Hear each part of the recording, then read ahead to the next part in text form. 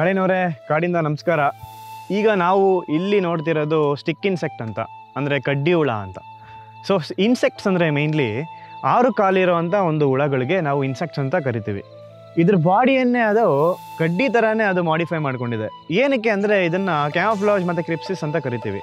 So ಬೇರೆ ಪ್ರಾಣಿಗಳು ಇದಕ್ಕೆ ಅಟ್ಯಾಕ್ ಮಾಡಬಾರ್ದು. ಸೊ ಕನ್ಫ್ಯೂಸ್ ಆಗಲಿ ಅಂತ ಅದು ತನ್ನ ಬಾಡಿಯನ್ನು ಅದು ಮಾಡಿಫೈ ಮಾಡ್ಕೊಳ್ಳುತ್ತೆ ಇದ್ರದ್ದು ಇನ್ನೊಂದು ಯೂನಿಕ್ ಕ್ಯಾರೆಕ್ಟರ್ ಏನಂದರೆ ಇದು ಮೇಲ್ಸ್ ಇಲ್ದಿರಾನೇ ಇದು ರಿಪ್ರೊಡ್ಯೂಸ್ ಮಾಡುವಂಥ ಕೆಪಾಸಿಟಿ ಇದೆ.